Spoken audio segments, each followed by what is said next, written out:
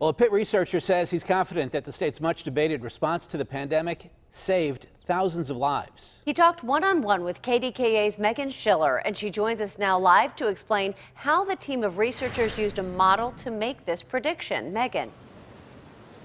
It's a complex science, but the team of researchers say this much is simple. When the social distancing measures ramped up, we saw a decrease in cases and deaths. And then when we relaxed those social distancing measures, that is when the team says we saw a spike.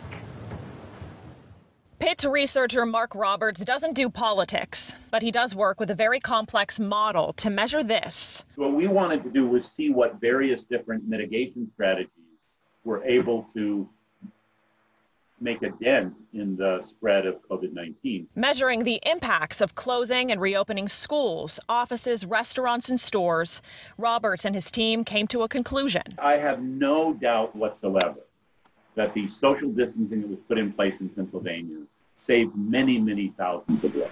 Roberts' research even came up Thursday when a team of doctors from across the state hosted a Zoom call defending the governor's actions. As a physician, we're concerned that blind, unquestioning loyalty to President Trump by elected officials in Harrisburg is getting in the way of good public health policies. Emergency physician Dr. Max Cooper didn't mince words, saying it's time to speak out. Physicians have a responsibility to speak out when we see harm being done, and harm is being done right now to the people of Pennsylvania. Republican leaders argue more harm happens when the dreams of small business owners crumble and students can't learn in the classroom.